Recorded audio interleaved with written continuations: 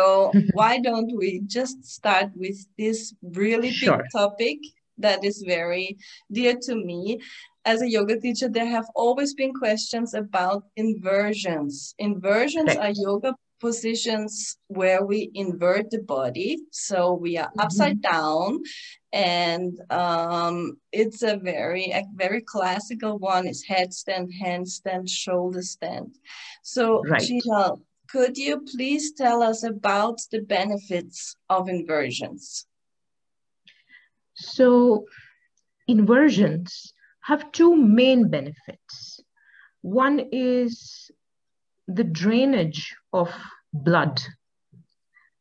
The blood vessels, which have stagnant blood, especially around the pelvic region and around the hips, and also these blood vessels, which connect to the internal organs.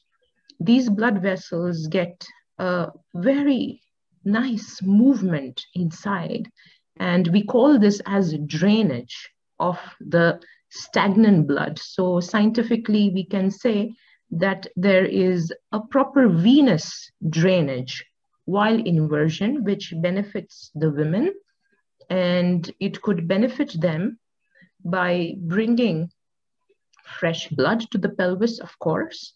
And also, it can help in the balance of certain essential hormones, which are estrogen and progesterone mainly, actually benefiting the entire endocrine system.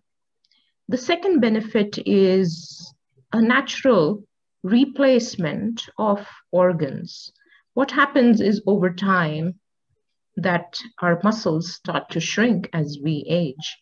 And also during pregnancy and after pregnancy, there could be a slight prolapse of uterus. There could be also slight displacement of certain organs. Scientifically, if I have to explain you that these organs might shift just by millimeter or centimeters, which we see in women after pregnancy, especially with uterus. And when this misplacement or displacement is more, we call it as uterus prolapse. So, doing inversions could help in the replacement of organs over a period of time. It has to be practiced properly in a scientific way, in a therapeutic way, and also taking the do's and don'ts, the benefits and the limitations of the inversions. So I would highly recommend inversions to all the teenage girls and also to young children, why not? But mainly to women during their menopause, it could help them a lot, and after pregnancy as well. So, in short, these are the benefits. Thank you so much. That's really a great wrap up. Also, I really love how you make the connection to the scientific facts behind and then put it in easier words because I think that's very important to understand the whole concept. And can you tell me because uh, we women we face um, every month a cyclic mm-hmm. a cycle and mm-hmm. uh, when we have our moon when we are menstruating are there any special um, information any special uh, concerns when it comes to uh, inversions doing inversions right so let me take yoga physiology into consideration along with the scientific viewpoints as well because yoga physiology is itself scientific. So, um, if you know a few concepts about yoga physiology that you learned also at the ashram with me about the pancha pranas, that there are five types of prana. Prana means biological energy or biological force that keeps you alive. So, there is movement within the body, there is life within the cellular bodies. So these pranas are five in number and they have their own functions. For example, the prana which is here in the chest region it helps in respiration. So the movement of air that goes up and then inhalation, the air that moves down. And the prana, which is samana prana, which is in the abdominal region, it helps in the digestion of food. So this prana works in circular motion. Okay. Similarly, we have the apana prana around the pelvic region. And this apana prana helps in downwards flow. Okay. Excretion of urine and feces. And along with that, also the release of the endometrium lining that happens during our menstruation, which usually people call it as the blood, okay, the discharge of the fluid, which is nothing but the lining of the uterus. So now the apana prana is working downwards, and this is the natural flow in order to expel out that lining. So the uterus goes through some contraction as well during this time. And along with the apana prana, the balance of the apana prana, this entire endometrium lining is being expelled within four to five days.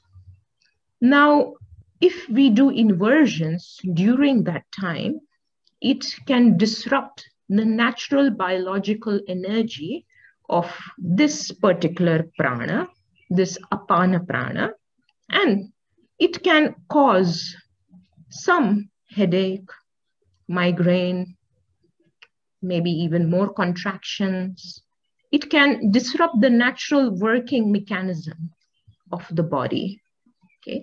So whenever there is a downward flow discharge downwards, okay, it is not hygienically scientific. It's not scientific and it's not hygienic okay, to go upside down. So this is the first reason. The second reason is that a woman's body, if you look into the scientific aspect, you will also understand that during menstruation, a woman's body goes through oxidative stress at an atomic level. And during these days, three, these four or five days of oxidative stress, what is required is proper rest, and I would suggest to most of the women that they should take good care by slowing down, having you know some very good fruits and vegetables, some extra supplements, some vitamin C's, and sleeping a little bit more, taking extra naps, okay, and maybe some body massage and very gentle stretches around the pelvic region. But asanas like inversions, asanas which also put abdominal pressure, pressure on the abdomen, or heavy back bends. All of this can increase the amount of oxidative stress in the body, including the inversions. Okay? So any strenuous movements during menstruation could you know, put a lot of burden not only on the reproductive system, not only on the uterus, but on the entire physiology, on the entire biology and the psychology of the women as well. It could be at a subtle level. So I would advise women that the best thing during menstruation is to rest, relax, and avoid any strenuous movements like inversions, back bends, even forward bends should be avoided because it puts stress, means pressure on the uterus region. So I hope to some extent you get my point. If there is any other questions related to it, please feel free to ask. Thank you so much. I think it's very clear and also every woman who is menstruating, she feels the extra load on the system. And in my case, for example, I always feel really drained and it's like natural. When I'm connected to my body, I feel that I have to take extra care of myself and rest, relax, good food. Correct. It's so important. And I'm very thankful that you highlighted all the background information about this here. And another question that is really uh, a long time on my mind since I'm also working with ladies who want to become pregnant and who are pregnant and also after pregnancy with moms. Um, what does it mean to invert the body uh, like handstand, headstand, the very um, fancy poses uh, that uh, to do that when we are pregnant, when we have a baby in the belly, or just are in the first period of our pregnancy. Correct. So, whether you're in the first trimester or the second or the third trimester, you should avoid inversions completely during this period. Again, I will help you to understand it in a scientific way. First of all, there is um, the development of the fetus going on in the womb and also the apana prana is at its high during the three trimester and especially during labor we see that the apana prana increases so that the labor takes place the contractions take place. So this apana prana again works downwards Okay. So that is the reason just a few days before pregnancy, if you have taken all the precautions, then naturally the baby would turn so that the head is towards the cervix. So it means that you have taken care of your body so that the apana prana could work in your favor. Okay, the downward flow of the energy, which is the apana prana. So when you do inversions during your first, second, or third trimester, again, you're interfering with the natural law of the biological energy, the biological energy which is helping the food, the nutrients, you know, everything which is moving towards the baby downwards. And the goal is that after a few months, the baby should be able to move downwards and there will be dilation of cervix and all that which what happens during labor. All that occurs because of the apana prana, the force coming from the apana prana. So when you keep on doing inversions during pregnancy, you're interfering with this natural movement of the biological energy. This is the first reason. The second reason is that you may feel comfortable doing inversions because sometimes it's very psychological, uh, especially women who are used to doing yoga asanas, inversions, they cannot give up that. And there is also that sense of ego that I am doing inversions. You want to achieve a powerful posture, you want to feel good. There is dopamine release as well. There's oxytocin release as well. So all this makes you feel very good when you do inversions. Okay. Or any other exercise, you even go for a walk, you will listen to music, you do something which is your favorite thing, you will always feel happy and relaxed. So now it is good maybe for you, but what about the baby? Okay. For the baby, it is a complete shock because the baby doesn't know that why there is a sudden movement. Because when you go upside down, you could also imagine the baby would also turn and move randomly, okay, without any notice given to the baby, isn't it? It would be so quick and random, and it could put stress on the baby. More than the mother, it could put some psychological biological stress on the baby because of such a rapid sudden movement of inversions. Okay, so that is the second reason that the fetus is not ready okay, for this rapid movement that comes without any notice. Yeah, you cannot really be... say anything to the baby, no? Of course. So that is why the women are suggested don't do extreme twists, don't do inversions, don't do forward bends that would compress the fetus, don't lie down on your belly, on your abdominal region. Okay, this is for the fetus. and also for your own safety as well because the third reason is that the umbilical cord okay, which is there you know, helping the nutrients you know, through the placenta as well you know, which know, there is a very important vein that passes through the umbilical and the placenta and then you know, the nutrients and everything is being delivered to the baby then this umbilical cord could strangulate the baby. And it's not an isolated incident. There are several cases where the baby could move upside down, topple over, and as a result, there could be strangulation due to the umbilical cord going around the neck of the baby. And there could be a risk. I'm not saying that all the women could be at risk, but there are incidences and you could be at risk. First of all, your baby is at risk because the first thing is the baby will get strangulated first, deprived of oxygen. And you might not know that. You might not get any signals that it has occurred.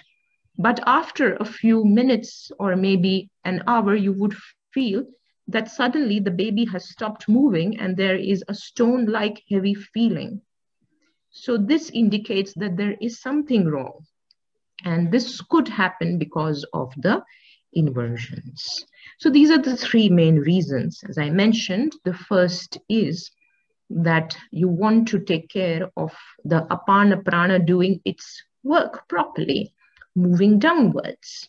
Okay and especially towards the third trimester. So if you have taken care in the first and the second trimester then in the third trimester your apana prana will help you in a natural pregnancy or you can say a healthy labor a healthy pregnancy and a healthy delivery of the child.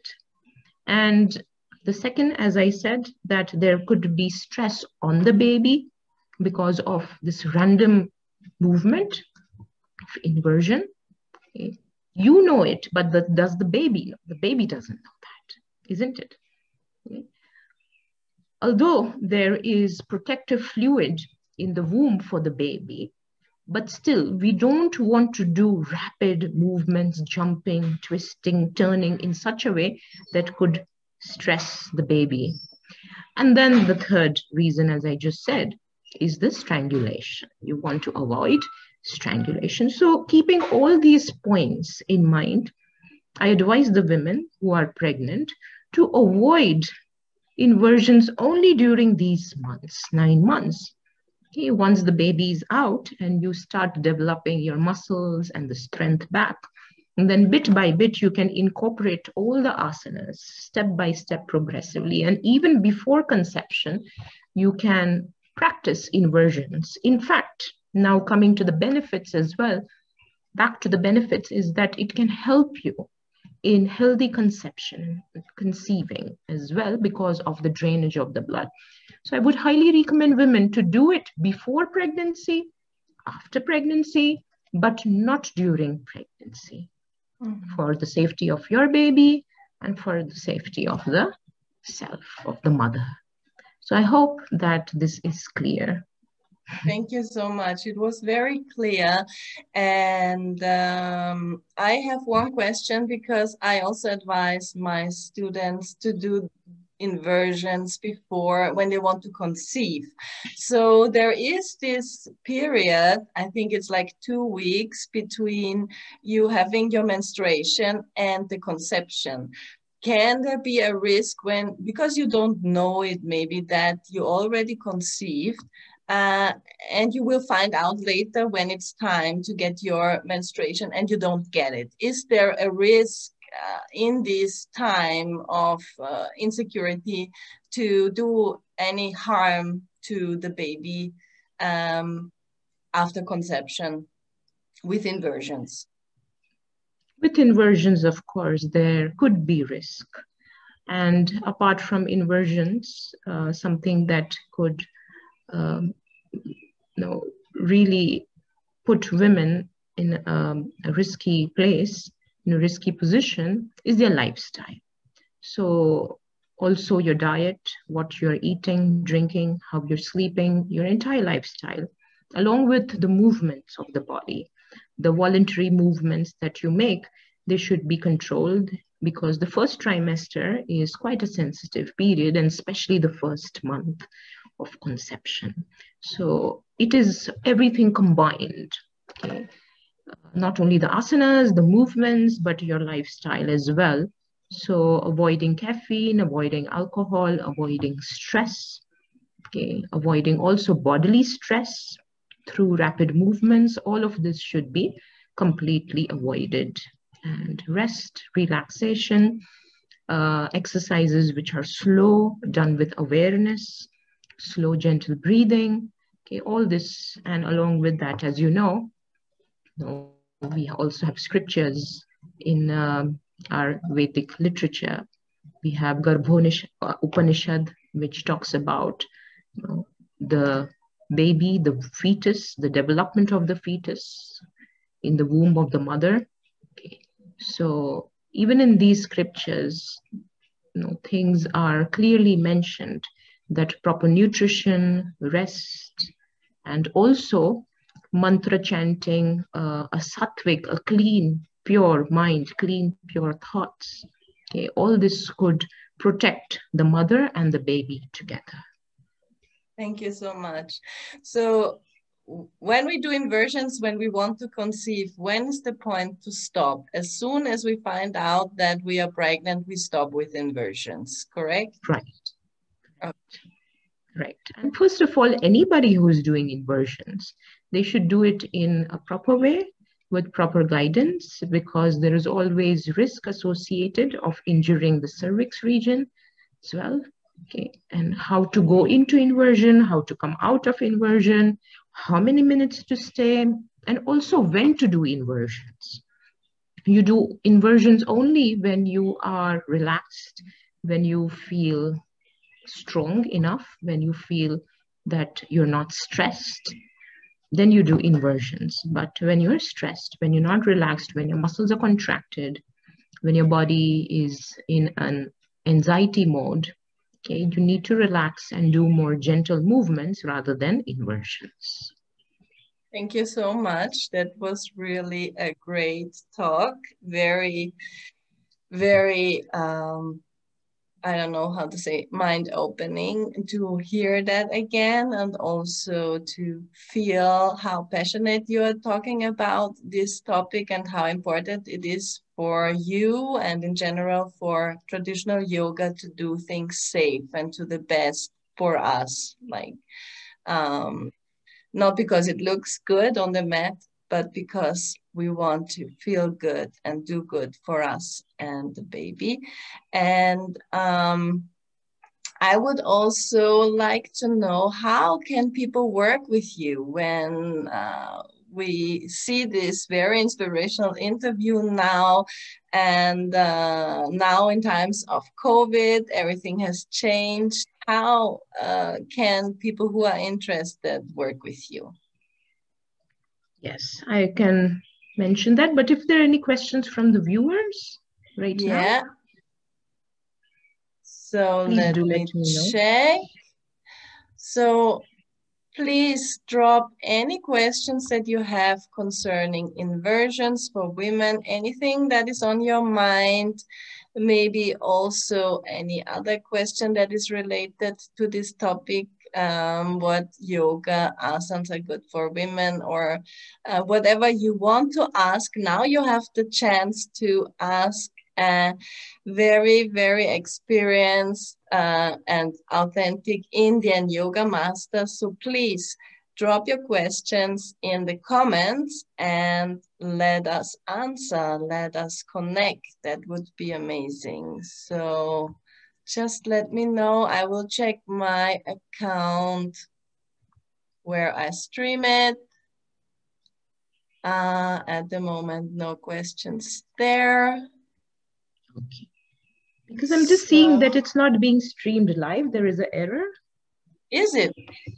Yes. Because I see that it's streamed live in Mystic Mamas and on my uh, personal page, but you're right, a little bit time delayed. So okay, perfect. So if it is there, maybe from my side there is some error. Great. Oh, I see. Okay, good. Uh, yeah, maybe we can do it like this, that if there are any questions, uh, I hope you stay in the Mystic Mamas group. Maybe you can check out the comments or I can also answer them. Um, and if we need some extra expertise, I would be very happy if you uh, drop in with your knowledge, with your wisdom and share it with you, uh, with us. And are there any other things that you would like to mention about this topic? Anything else you want to share? Well, we can then move, if there are no questions, we can move further with the next question you asked.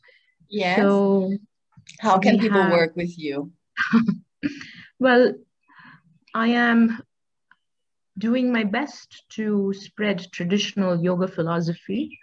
And through the 200 hours course, which was running at the ashram, the Wise Living Yoga Academy in Thailand, in Chiang Mai, since past 10 years in Thailand, and also the same course which I conducted in several other countries. And I traveled around the world giving various workshops as well. And the focus is to share traditional yoga philosophy along with scientific techniques, asanas, and the pranayamas, while the trainees go through a yogic lifestyle routine and change their habits, moving towards more and more purity that we call it as sattvic lifestyle. So the initial step is to get trained in this course in order to get a firm foundation in the yoga philosophy by studying a few scriptures like the Yoga Sutras of Patanjali, of Bhagwan Patanjali, the Bhagavad Gita, and also getting the foundation, the introduction to the Indian philosophies as well, knowing some important Sanskrit vocabulary, words, knowing the pronunciation of it, and also understanding the diet, the lifestyle, all that can support yoga. So it is a quite a comprehensive training, a traditional training um, where we teach authentic, original yoga. You can call it as classical yoga as well. And I'm very fortunate to receive it from my teachers, and this is my work. Now, since it is an online program, I'm open to work with people who are committed towards yoga as a lifestyle, following the pure sattvic diet without intoxicants, and who are also committed to spread knowledge and education and also help at a social level. So people who are interested to work together as a team with Wise Living Yoga Academy are welcome by first joining the 200 hours international yoga teacher training course, which is now starting from 11th of April. For any information, you can visit our website, which is www.wiselivingyoga.com, or you may contact Daniela, which would be even better. If you know Daniela, then it would be the best thing that you contact Daniela. She could really help you, advise you, and give you the best guidance. And you can also feel free to visit our social media pages on Facebook and on Instagram as well. Or leave any questions over here, or you can drop any questions on our website. So, in short, this is the answer. Thank you, Jeenal. I'm going to share all the links from the Wise Living Yoga Academy and the teacher training on Facebook and on your of your web page here in the Mystic Mamas group and also on my personal page. And as you said, if anyone needs some more information, any advice, please don't hesitate. Feel free to connect with me. Of course, also you can drop any comments in the, uh, any questions in the comments. And yeah, I'm just very thankful that I had the opportunity to talk with you, Gina, to have this Thank live. So. Thank you very much because it's really special that people, and I know you now, I want to say a little private. I know you since many years, and it's always been a big goal of yours and i really felt that you were with me in vienna to really help people so it's really traditional yoga practiced and lived uh, off the mat it's not only about the asanas it's there is so much more uh, and you're always so committed to share. It's really amazing how much work and how much love you put into this and everyone who is in the Wise Living Yoga Academy feels like a, a child of yours because you're so caring and you have so many children all around the world. So it's really, really very special. And yeah, I want to thank you also for helping and supporting me all the time on the way. And yeah, I hope that you join our um, further celebrations today on Women's Day. Um, we are going to have a watch party at 3 p.m. and a women's circle. I don't know because you are in Thailand uh, if it's possible for you so late, but that would be great. We try to raise the energy by honoring all the women. We will sing something together and then make a little meditation, a little metta meditation. And also please uh, pick up your welcome package. I made some treats, some little gifts, and a brochure for this ritual. So I will also drop this link in the comments. Thank you very much. Gina. Again, one lovely. One and thank you, Daniela, your work, for your inspiring you. work. Um, very, very grateful for having you as a friend, as a student, and keep going, keep shining keep spreading education.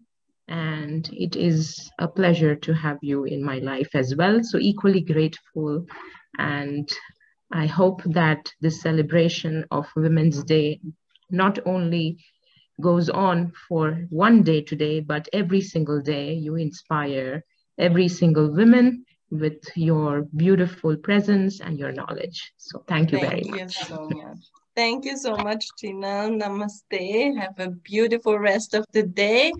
And yeah, Mystic Mamas, stay tuned. This was the start of this our celebrations with a big bang and a very interesting interview. Watch the replay if you could not make it. Drop comments and yeah, share, like, with uh, and share with your family and friends. Thank you so much. Have a good day and see you later. Bye bye, Gina. Thank you. Bye bye. So I'm going to try to stop this now.